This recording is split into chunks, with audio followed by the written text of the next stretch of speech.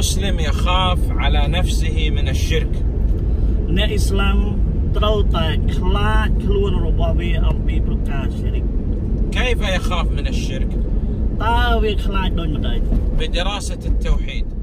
គឺនៅក្នុងការសិក្សាតោហេត بدراسة الشرك حتى لا يقع فيه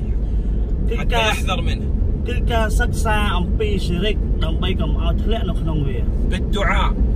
និងការសំបួងបួងសួងពីអល់ឡោះ بالبعد عن المشركين ការឃ្លាតឆ្ងាយអំពីអ្នកឈរិក لأن المسلم لابد أن يبتعد عن المشركين لا يسكن معهم